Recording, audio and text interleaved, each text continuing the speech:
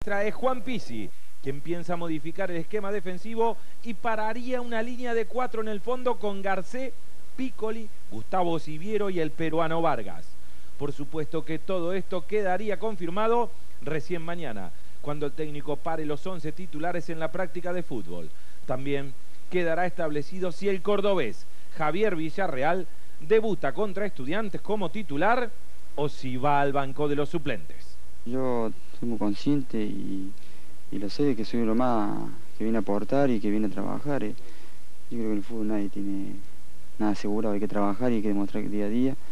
Eh, bueno, yo vine a, trabajar, a aportar lo mío al grupo y, bueno, esperando la oportunidad. Eh, gracias a Dios la habilitación llegó, esperaba que llegara antes, pero, bueno, no se pudo.